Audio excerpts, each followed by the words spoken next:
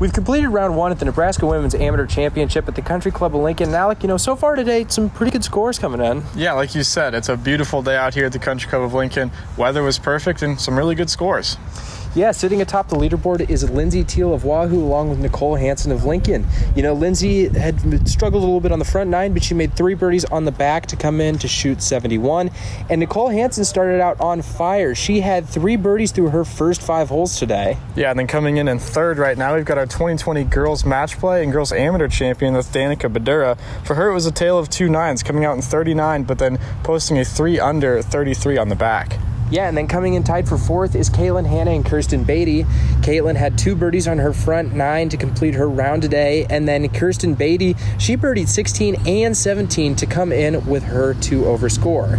And then we've got a two way tie for sixth place right now. Five time champion Sarah Sassy Kildow started out with a 38, but then came right back with two birdies to start out on the back nine, came away at a 75 at plus three, and then joining her is Nicole Colbus, who, same thing, tale of two nines, went out in 40 but then played a steady back nine at 35 to get to plus three.